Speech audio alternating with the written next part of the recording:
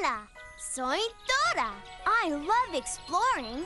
Do you like exploring too? Fantastico!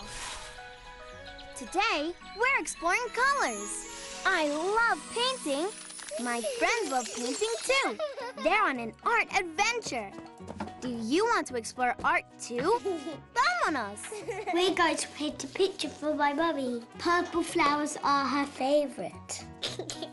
no, we've only got yellow, red and blue. Oh! Do you know which two colors mix together to make purple? Is it yellow and blue? Oh, it's green. Is it red and yellow? Oh, it's orange. Is it red and blue? Yay! It's purple. Wow! First, use green to paint the stems. Second, paint purple circles. Third, add the petals. Yay! We did it! Wow! Excelente! You're a great painter.